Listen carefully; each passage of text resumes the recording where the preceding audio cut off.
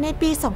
2564 พบว่าอุบัติเหตุที่เกิดขึ้นในกรุงเทพส่วนใหญ่เกิดขึ้นกับผู้ใช้รถจักรยานยนต์กว่าร้อยละ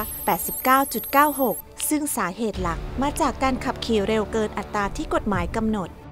กรุงเทพมหานครขอร่วมรณรงค์ให้สายบิดหยุดคิดก่อนเร่งเครื่อง เพื่อการขับขี่อย่างปลอดภัย และไม่ทำร้ายคนอื่น เพียงปฏิบัติตามขั้นตอนง่าย ๆ ลดความเร็วก่อนถึงทางข้าม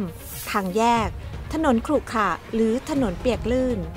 หลีกเลี่ยงการเข้าใกล้รถขนาดใหญ่